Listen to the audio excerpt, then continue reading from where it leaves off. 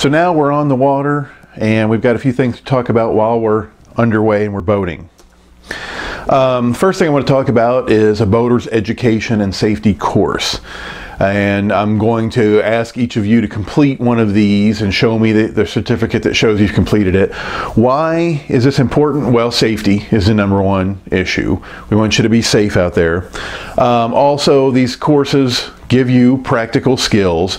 So, and they're going to touch on things that I'm not going to be able to talk about in here, things like uh, how to use marine radio. And they're also just going to present a lot of the same information in a different way. That's good for you. Also, many of you who are taking this class are going to be professionals in the field. And people are going to ask you about it. And even though you're not a conservation officer or you're not a law enforcement person, people are going to ask you about these things because they're going to see that you're a government official working on a boat. Um, you need to be an expert in this. So those are all good reasons to take a course. Probably the best one you can take is the Coast Guard's uh, safety course, boating and safety course. And this is a, a classroom and it goes over several weeks. Um, and it's very intense. It's probably a lot more than what you need if you're just going to be working, um, you know, inland and freshwater. But this is probably the best one if you want to take a really intense course. Um, there are some good ones that are online that get you a lot of good information. This Boat Ed is a, a good one that I found. Um, it does cost 30 bucks, but you only pay after you pass the course. So you can take the whole course and take the test and keep taking it until you know your stuff and you pass the test. And then if you want to get the certificate to prove that you passed it, then you have to pay the money. Um, that's a good one. Um, the one I'm going to ask you to take for the class is the Boat US online course. Now, some of you have had my other classes and have probably already taken this, and so just show me the certificate. That's fine. Um, this is a good course. I like the way it's structured. It covers a lot of the important material you need to know for a boater safety course. It's online and it's free. And not only is it free, it's recognized by the Kentucky Department of Fish and Wildlife um, as a, they approved it as a safety course. So this is why we're going to use this one. Um, so the link is given here. It's also given in the Canvas course. Um, so for my class, I want you to take it, pass it, and then email me the certificate to show that you've passed it. Um, and also our exams are going to have questions from this. So, you know, this is a good starting point. It's got a lot of information that I want you to know. It's also something good for you to just be able to put on your resume, to put on your CV. Um, you can also get a break in your boat insurance sometimes if you've shown you've taken one of these courses. So um, if you're going to be a, a professional, it's a good idea to have this. Okay, in Kentucky, let's talk about registration and license. You don't have to have a boat license. Um, so, uh, like you have to have a driver's license, you don't have to have a license like that to operate a boat if you're an adult. There are different rules for young kids. You do have to have a boat registration or, you know, license plates. So it's like you don't have to have a driver's license, but you do have to have the license plates. So your boat has to be registered. Um, now, if it's a state boat, um, if it's a work boat, those don't have registration numbers on them, but any other craft has to have it. Um, also, unpowered boats tend to not have to be registered. Canoes, kayaks, rafts, those don't have to have registration. Sailboats, I have a question mark. It says all mechanically powered vessels used primarily in the state of Kentucky must have a Kentucky registration. And so a sailboat is not, the sail is not mechanically, but they all have an outboard that you use at some point. And so I think sailboats have to be registered as well. Just a good idea. Um, now the registration for a boat in Kentucky means you have to have those uh, decals with letters on the side and a current registration sticker on the side, but it also means you have to have the registration paperwork or the certificate of registration. And so you need to make a copy of this on waterproof paper, jam it somewhere in the boat, jam it in the um, glove box of your truck, whatever. But technically, you need to have that certificate as well to be legal. Um, now in Kentucky, you don't necessarily, you don't have to have license plates for trailers in Kentucky. Um, and so you don't technically have to have your trailer licensed, but it's not a bad idea because if you go out of state, other states you do have to have a license plate. And so if you're in another state and they see you don't have plates, you might get pulled over and you would technically be legal, but it's just a hassle that you don't want to deal with. So um, technically you don't have to have plates in Kentucky, but it's probably not a bad idea. Um, when you're looking at a boat, pay attention to the capacity of the boat. Every boat has to have a capacity plate on there that talks about how many people it can hold, how much weight it can hold, and the maximum horsepower. And so if you buy a boat and it doesn't have this, you need to get it because you're illegal. Also, realize that these recommendations are in calm seas. So in the best condition, this is the maximum. But in rough seas or in rough water, you're probably well below what this maximum is. Okay, I want you to be aware of considerate boating. I want you to be aware of other people on the lake. Um, one of the things that's a pet peeve of mine is trash. It's very easy for trash to blow out of a boat. And if you're out on a lake at any point, you see trash everywhere and it makes the place look terrible and it's inconsiderate. So just be aware that you're open and so any trash is going to blow out once you take off down the lake. So stow it. Um, be aware of aquatic nuisance species. And as biologists, we should be doubly aware of this, but this is how a lot of things, a lot of vegetation, zebra mussels, um, this also has to do with bait bucket transfer. Be aware of all the aquatic nuisance species and how they can be transported in your boat, in your bilge, on your trailer. And that means wiping down your trailer, that means inspecting for vegetation, that means being doubly aware when you're in a lake that has these species so you don't transport them to other systems. Obey all no wake. This is not only considerate, but this is also the law. Um, but when you're around other boats, you want to go nice and slow. Don't get them stirred up, especially if they're fishing. No wake means the slowest possible speed that you can go at and still make headway. So it doesn't necessarily mean idle speed, because if the wind's blowing or you got a big boat, idle speed you might not be able to go in the direction you want to go, but it's the minimum speed to go in the direction that you want to go. Okay, um, there are some other safety things, again, that will be covered in your online safety course, but I want to emphasize here. The first is there's no such thing as a right of way on the water. So in driver's ed, you learn about right of way. If you're at an intersection, who has the right of way? That's a legal concept that doesn't really um, extend to the water, mostly because there's no lines painted on the water, and so you can't really have a right of way. on the water, you have this concept of stand on versus give way.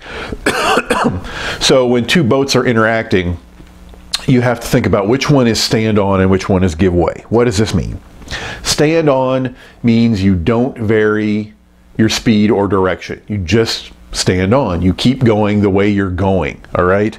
Give way means you must avoid collision. So you must vary either speed and or direction to avoid colliding. So if two boats are interacting, one is supposed to just keep doing what they're doing, and the other one, that's the stand on boat. The give way boat is supposed to do what it has to do to avoid the collision. That's the concept that we're looking at here.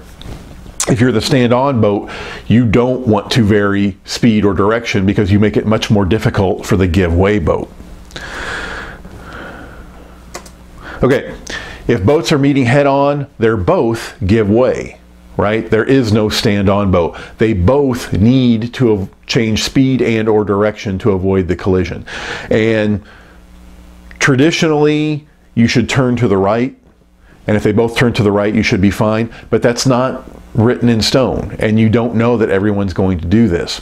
Um, and so you just need to be really careful and pay attention what the other person is doing. But you both have the obligation to move. No one is stand on here. Um, one of the things that you'll learn in your online course is that there are sound signals that go with each of these situations and blasts on the horn you can give to let the other boat know what you're trying to do. Um, we're not going to cover those there. Nobody uses them um, on freshwater lakes. Um, it's a good thing for you to know. If everybody used them, it would probably be a little bit better. But um, honestly, it's just not something that people do on Kentucky Lake or in any of the lakes around here. So we don't mess with it. But in your online course, you need to, to learn those to get to pass that online course.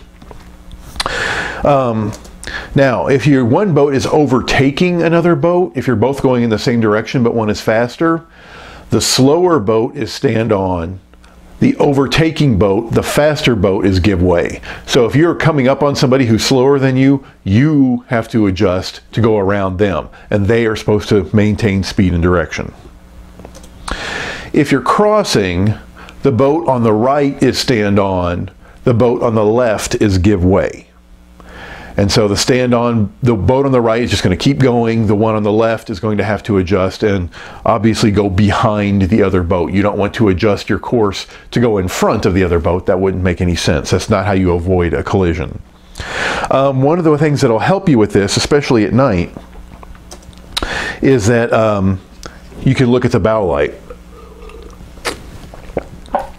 And so the bow light has a red and a green section. Red is on the port, green is on the starboard.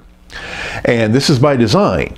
And so if you think about it, look at these boats here. The boat that's on the right, the boat that is stand on, when it looks at the other boat, it sees green.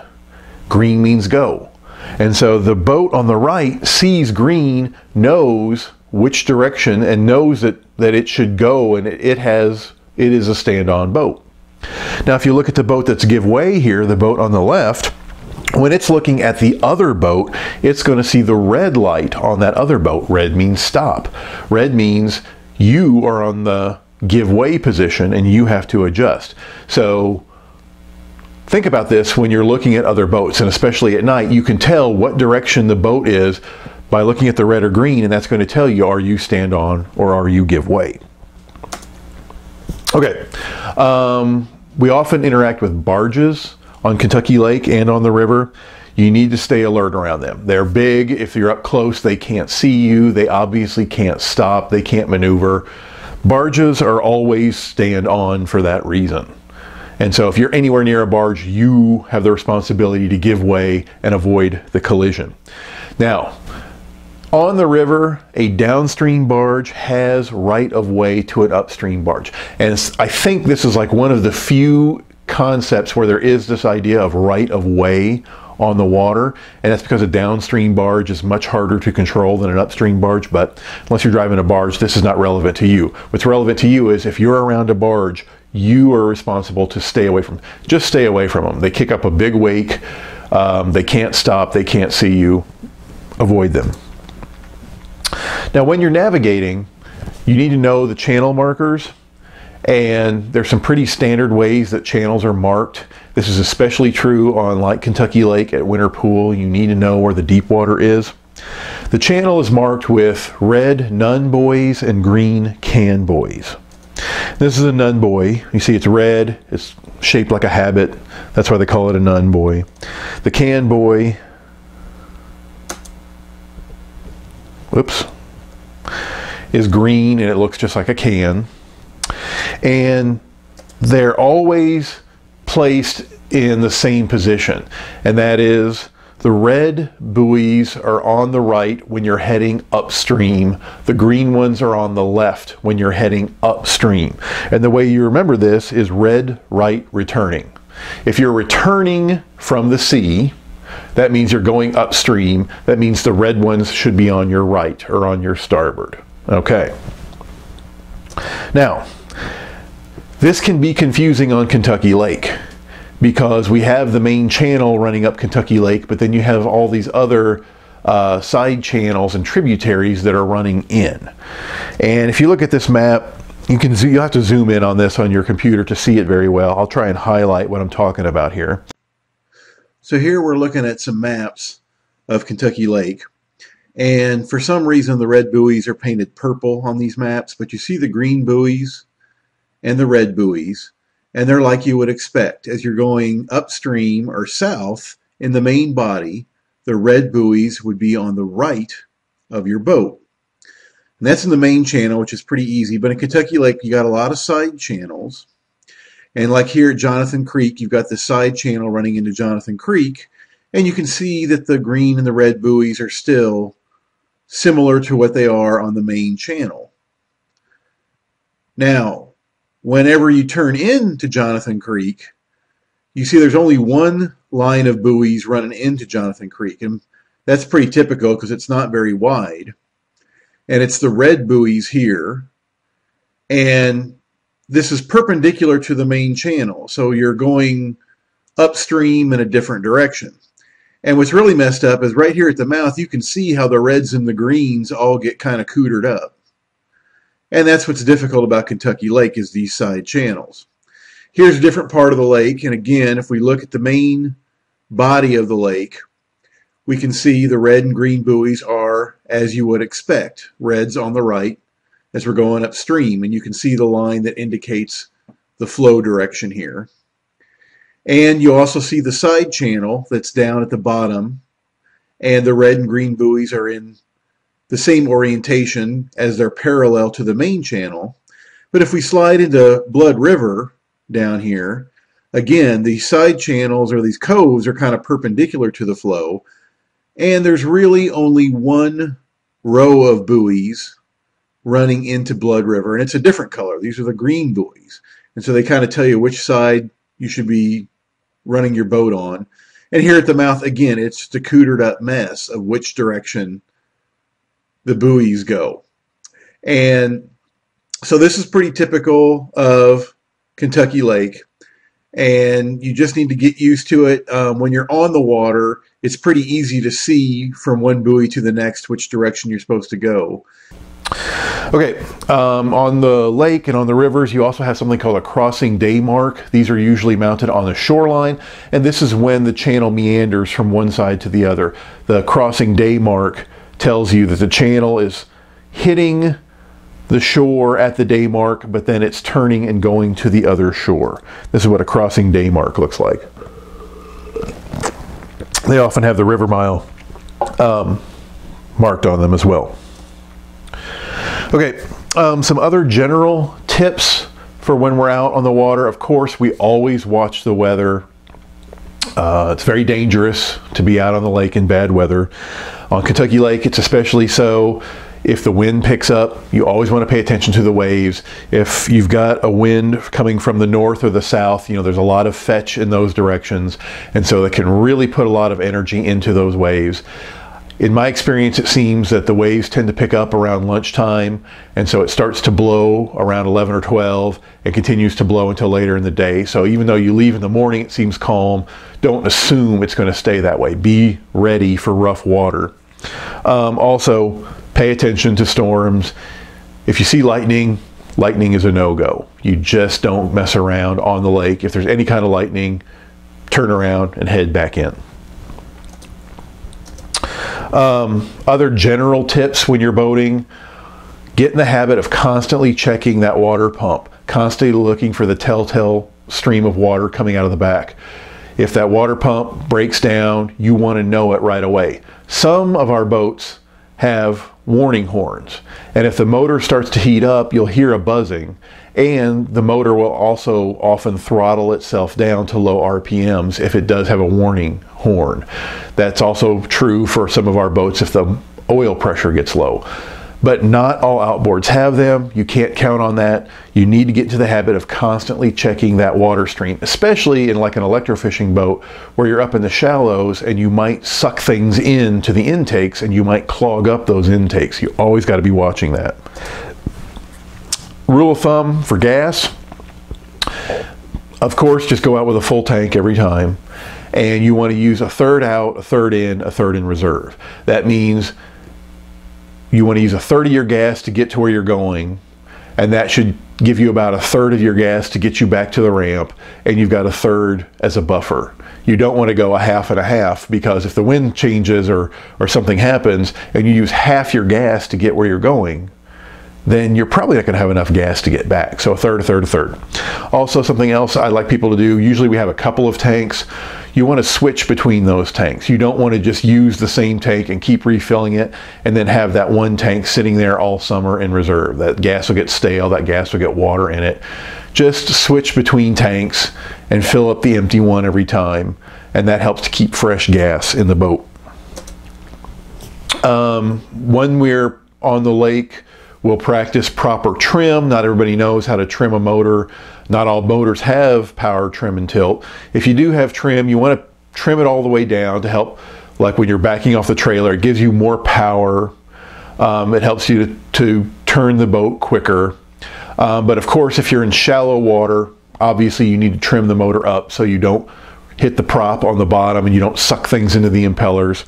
When so you, to maximize control, you want to trim the motor down and maximize power. So if you're doing something like pulling a trawl or something, you want to have that motor trimmed all the way down or straight up and down. It gives you the maximum power.